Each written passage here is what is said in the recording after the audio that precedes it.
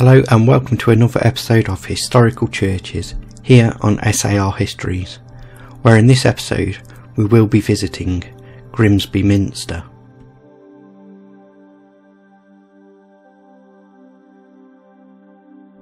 Grimsby Minster can trace its history back to 1114 when Robert Bloet, the Bishop of Lincoln, redeveloped an earlier religious building into a church and dedicated it to St James.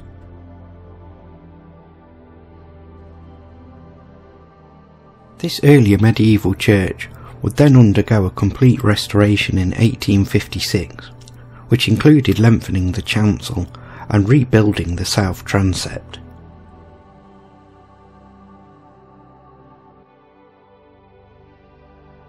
On the 15th of April 2010, the Grimsby Telegraph announced that the church was to be granted the honorific title of Minster.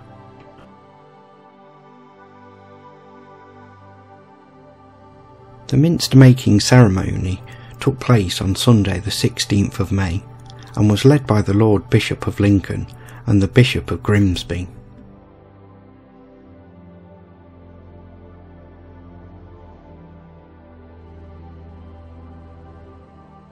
The church is impressive in its scale, and as you walk around, it is possible to see the differing building phases in the stonework.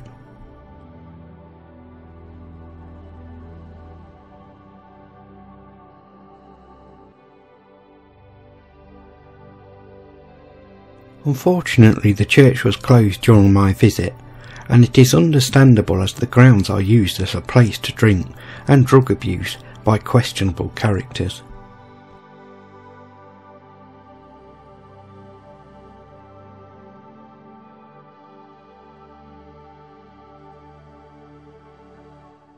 The headstones of the graves have been removed and lined up against the wall of the churchyard.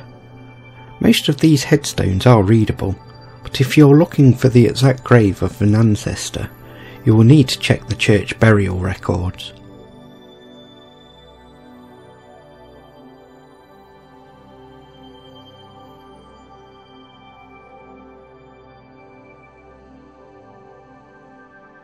If you have enjoyed this video, like and subscribe, and I'll see you all next time for more historical churches. Until then, Goodbye.